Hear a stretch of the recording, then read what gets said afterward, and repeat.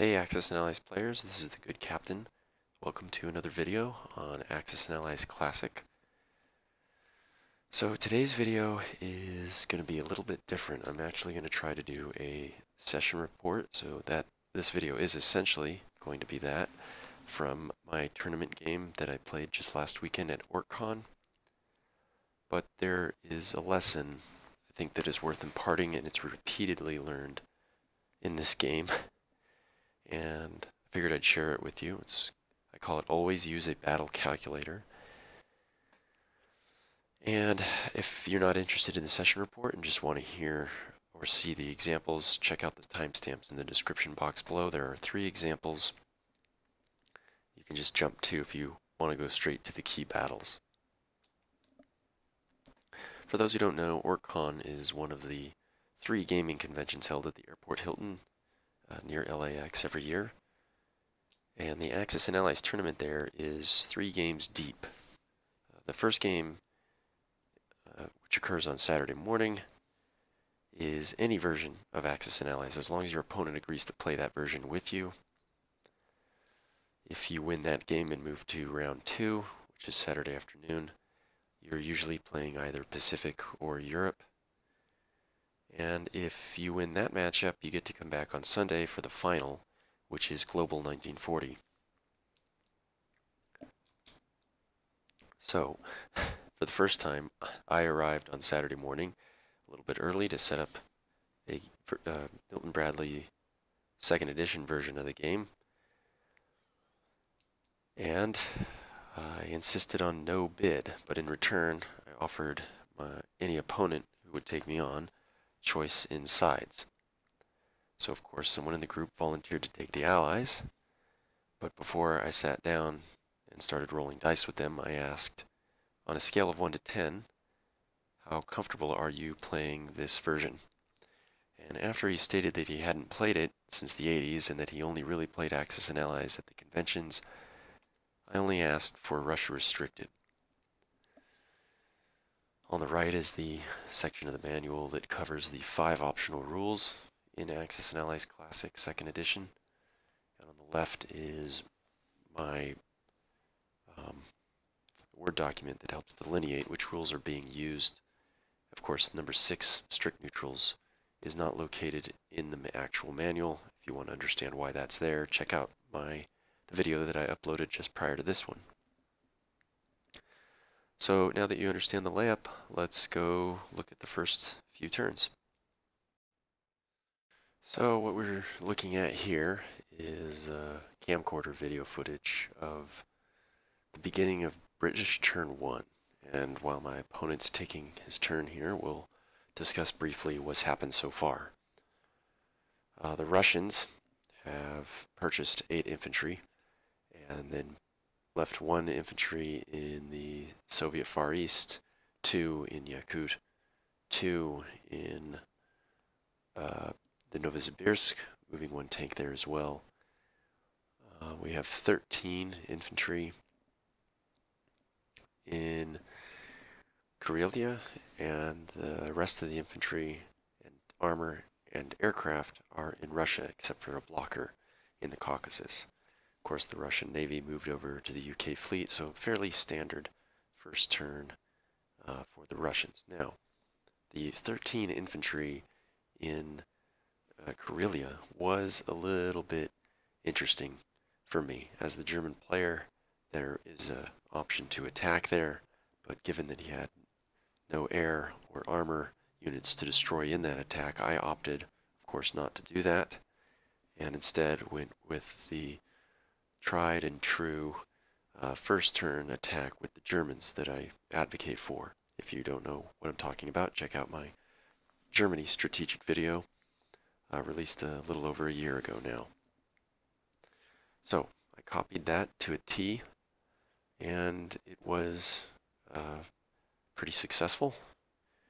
Uh, I only lost one German infantry unit in Anglo-Egypt-Sudan and uh, that's not really lucky. Uh, this is a, a fairly safe, uh, I'll go ahead and pause this video here. It's a fairly safe move for the Germans to do.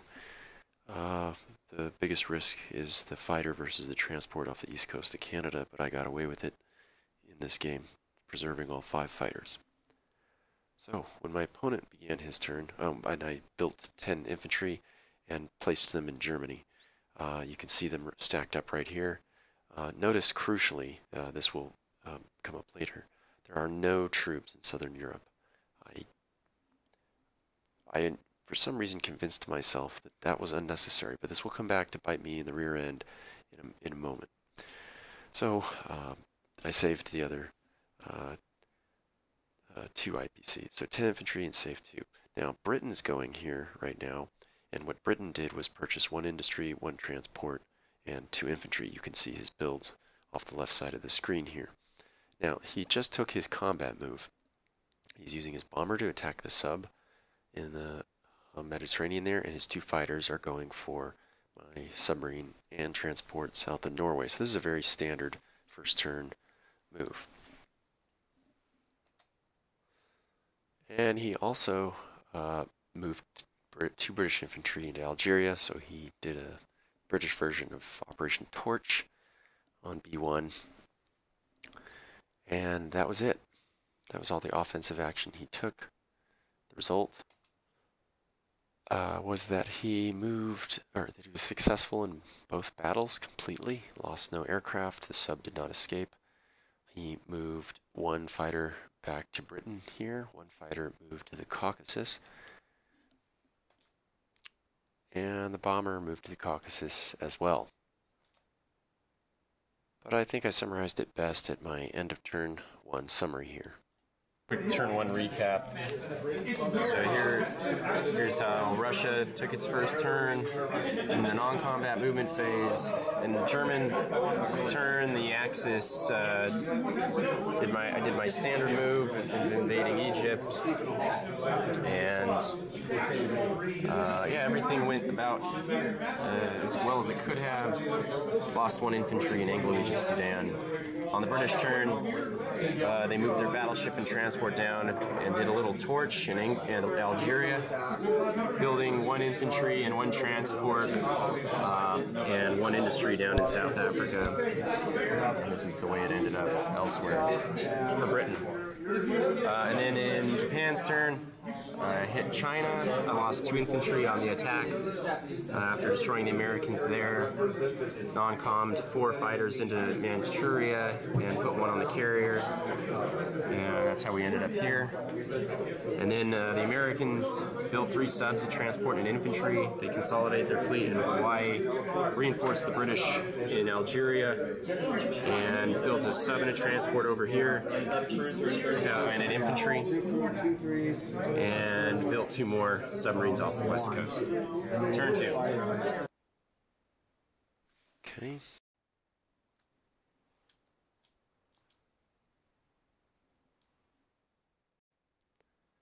So the beginning of turn two saw the Russians attack the Ukraine SSR, no surprise there. My blocker failed to score any hits. And a, a substantially large Russian army hit Finland, Norway, and secured it after the loss of one, uh, one troop. So nothing surprising there, but I am a little concerned. The Russians did collect 29 IPCs on this turn. So next up was, of course, Germany. And on Germany's turn, I decided to take, with my 37 IPCs, I decided to spend all of it on infantry and save one, so that's where you get these 12 infantry in the compass rows here. Uh, and after studying the battlefield for uh, quite some time, say about 5 to 10 minutes, I decided to go south. The reason I spent so much time making this decision was because I had a very lucrative option of hitting Algeria uh, in conjunction with the Luftwaffe and the Mediterranean Fleet, wiping out American, British ground units and American air units. But I decided to go south because uh, one of the adages that I operate under is to always try to expand the Axis IPCs at the beginning of the game. And since there was three so close and so easy for Germany to attain uh, in this the core of Africa here, uh, I decided to go south. And alternatively, I would send my Luftwaffe, every plane I had, uh, all five fighters and bomber, against this British and American and Russian fleet the west coast of Western Europe. And finally, we come to the first battle calculator error, or lack thereof. Um, I used a battle calculator in the um, air battle with the naval units to make sure that I wasn't really in danger of losing more than one fighter. But what I'm doing right now is where I failed to account for uh, Russian counterattack option. Right now, I have 11 troops and 5 tanks in Eastern Europe. And what I'm intending to do is move the entire force into the Ukraine SSR. So, by quickly glancing at a battle calculator, I would be able to see that with 11 infantry, 5 tanks, and that AA gun after I moved it in there, on defense, the best the Russians could do is a 50 something percent chance odds of victory. So that's, I'm comfortable with that. As the Axis player in this game, this is what you're looking for when you're pushing into Russia, forcing them to make high-risk attacks. You can't really get it better than this as the Germans, so this is okay. But due to the fact that I didn't battle calculate this, you're now watching me make an error. And what I'm doing is using my transport to load up two infantry, reducing the 11 to 9, I'm now realizing that I should have put two of my builds in Southern Europe so this wouldn't be an issue at all. But I'm going ahead and doing it anyway, not realizing the mistake until too late. But those were my combat moves, so we'll see how we ended up. And here's how we ended up. Uh, we smashed the Allied fleet uh, for the loss of a single German fighter, as predicted. Um, in Africa, we secured the other side of the canal and these three other IPCs. And the but the Russians managed to inflict two hits before they went down. There was only two units there and they both scored hits. So now I'm down to seven infantry, five tanks, and an AA gun. And by this point, I realized the danger and did pull out my battle calculator to realize that there was a 90 something percent chance the Russians would win a battle if they decided to commit their units against me. This, coupled with the fact that the British built a second industry on their British turn 2, there I'm pointing it out and lamenting, I was not feeling, I'm starting to not feel so well. That and there was a successful British attack into Southeast Asia. So I was a little concerned at this point in the game. But I'll let uh, the good captain fill us in on turn two. Uh, turn two recap. Here we are with the IPC board. Um, the Russians started out by attacking the Ukraine and Finland uh, and took both. And so they collected a whopping 29 IPCs at the end of their second turn. The Germans then counterattacked with what you see there, although the Russian defenders made two hits. Uh, and uh, the German Air Force, every plane went at the Allied fleet off to the west and defeated them, uh, losing one plane in the process, uh, while the Germans just expanded out in Africa, taking what they could. Um, the battleship bombarded, and um, we took Syria, Iraq. Uh, then the British turned, they actually attacked French Indochina and took it uh, for no loss with two infantry there. And then they their builds, they built up uh, some units here, placed two or brought two fighters down. And on Japan's turn, um, everything in China hit Xinjiang. Everything in Manchuria hit uh, Yakut. And the Imperial Japanese Navy uh, hit French Indochina. I'll pause it here and say that I also occupied the Soviet Far East with the Japanese as well. You just see the Americans up there because on their turn they took it back. The Americans inflicted a single casualty before they went down. The Russians inflicted two hits before they went down, and so did the British, surprisingly. And so when the Americans went, they counterattacked and retook Soviet Far East. So this is the way the board looks at the end of turn two.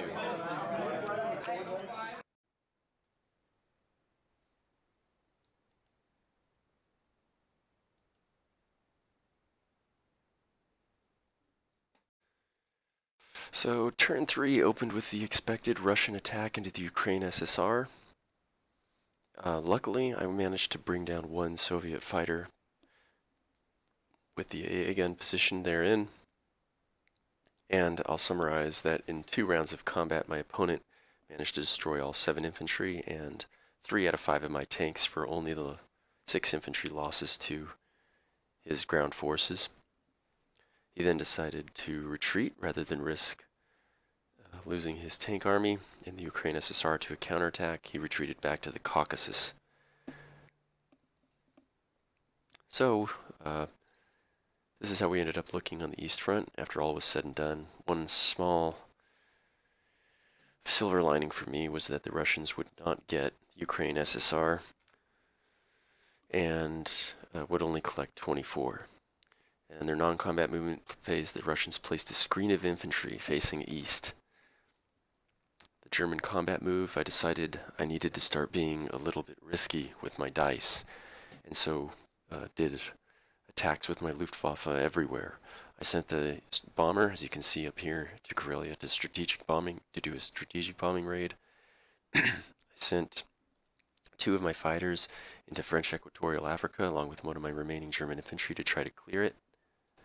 Uh, I also sent my two remaining fighters, one each, to the transport, American transport west of uh, Western Europe and west of West Africa. There was a British transport, one went there as well. Uh, and as you can see, I pushed the Italian fleet into the Suez Canal. Uh, his AA gun missed, but I only did one IPC worth of damage with the industrial bombing raid and I got diced in the rest of this turn. Uh, one of his transports took down one of my fighters for no loss to itself. His defending infantry in Africa took down my blocker, allowing him access to Egypt and basically all of Africa on his turn. And amazingly, the British transport in the Suez Canal would uh, take down my German transport with it. So by the end of this turn, this is the face of consternation um, and a feeling of this game is probably over, is washing over me, all because of my mistake for not using a battle calculator. I'm thinking I'll do the best I can, but this game is probably over, especially since the British have correctly played their strategy with the two industrial complex build, uh, a build that is very highly effective at suffocating the, um, the Axis expansion, namely Japan. On the UK turn, it was a fairly uh, quiet uh, retake over of all of Africa. As you can see at the bottom of the screen here, they took over everything but my uh, small German bastion in Belgian Congo there. And uh, what you're seeing now is the top of Japan's turn one, but I'm just going to use this as a reference uh, for uh, Britain's turn uh, Britain reinforced India with three fighters, two infantry, a bomber, and there's an American infantry, infantry in there. This, of course, uh, needed to go down, so I was going to commit everything I could to the destruction of all units in India and the takeover of the Indian factory. However, I had to respect the fact that I needed to land bridge Japanese troops and tank off of Japan into Manchuria, so the balance of the combined fleet needed to head north, and the American fleet was threatening, along with reinforcing subs from Hawaii. I needed to take this into account too. This forced my purchase that you can see here in the compass rows, two subs, one transport, and four infantry. This again, uh, now that I have caught myself, I'm using a battle calculator for everything And I've anticipated that if the Americans attack, that's the proper amount of naval units to screen my very valuable Japanese fleet. So, the battle in India um, did not go totally well. I did end up taking it over, but I lost two out of the five of my fighters to secure it. The British rolled uh, pretty well throughout this game. And the American purchase uh, when it came to America's turn, was an aircraft carrier, a fighter, and I believe another sub or a transport. No, I think it was just, a, oh, that's right, it was just an aircraft carrier and a fighter. And then the most inexplicable thing happened. The Americans decided to attack the combined fleet with three subs, one transport, a battleship, two fighters, and an aircraft carrier.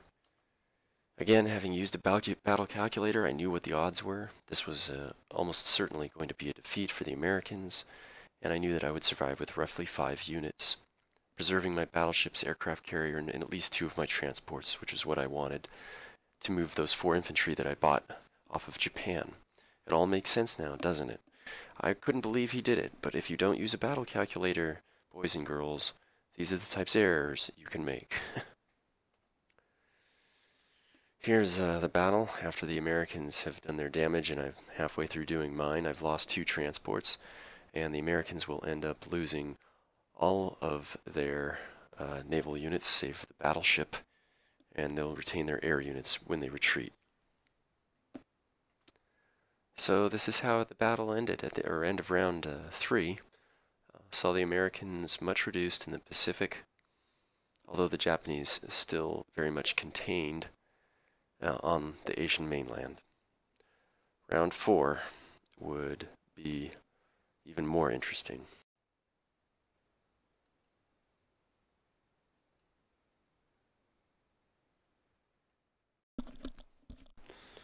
On turn four, another inexplicable event happened. The Russians would utilize these two groups of 10 stack infantry, the five tanks they had at their disposal, and their remaining fighter to attack Eastern Europe, which had 22 infantry and five tanks. Here they are, all laid out on the battlefield, or on the battle board, excuse me.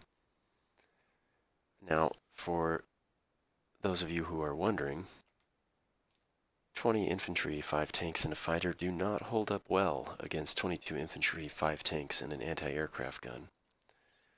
The Russians ha would have between a 12 and 18% chance of victory. Again, I weighed this with a battle calculator before setting up my defenses, but my opponent went after it anyway with predictable results. Here's a, a, picture taken immediately after that battle, after the Russians retreated into Karelia to lick their wounds. This helped bring not only balance back to the board, but now I had a strong advantage. The Axis have regained the advantage now. And on Germany's turn four, I decided to purchase seven tanks for an immediate strike on the following turn into Karelia. It was now or never. I also decided to take East uh, Ukraine SSR with the minimal amount of force and build up a massive army in Eastern Europe. In Africa, the remainder of the Afrika Korps would strike northeast and hit Anglo-Egypt Sudan with everything it had.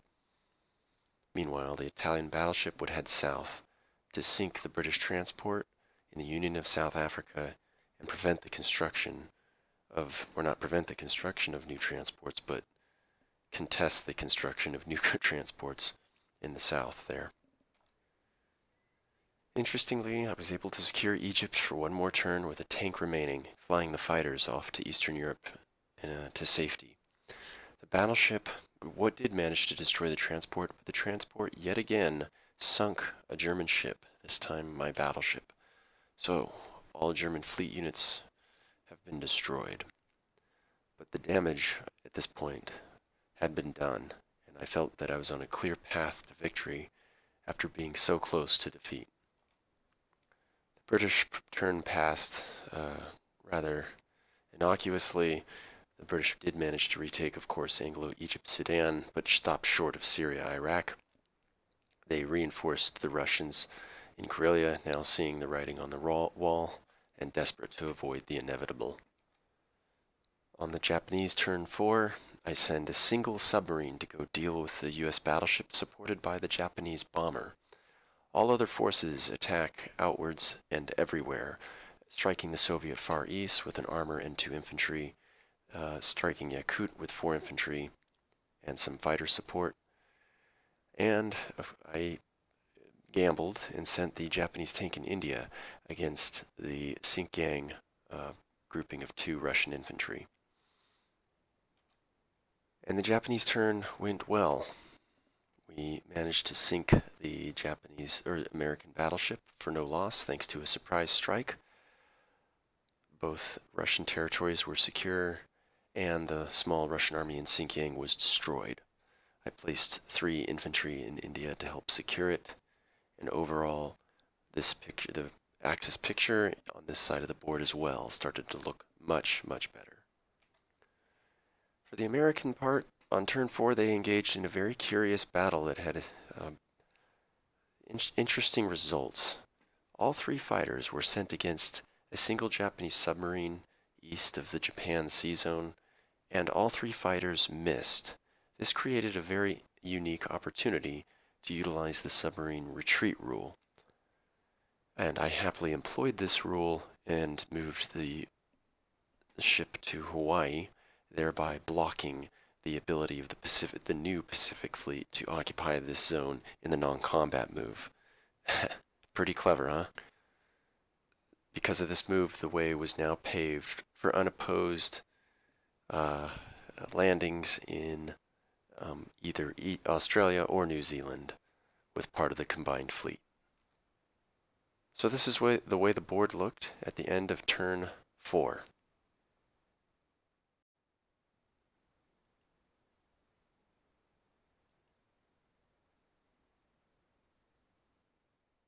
I failed to mention that on the American turn, a curious attack took place against India. The American Air Force used the bomber and the fighter to attack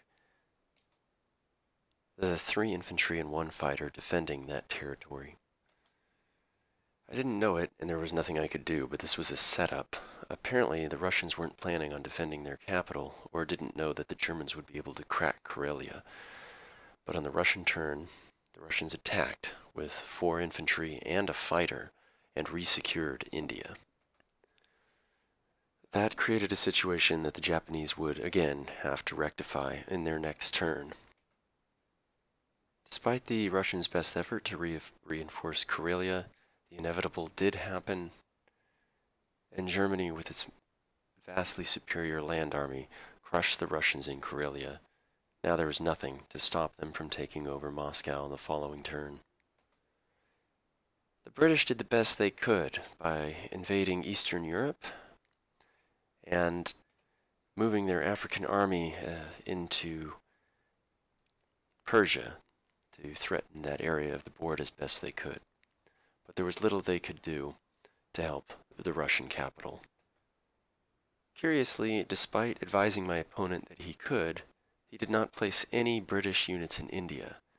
The Japanese then did what they could and moved deeper into Asia, moving the combined fleet down to support.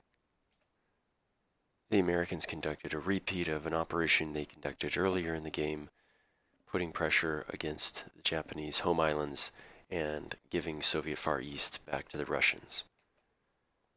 And despite their efforts, the Russians were unable to defend their capital at the top of turn 6, or I should say the end of German turn 6. This was the situation on the board.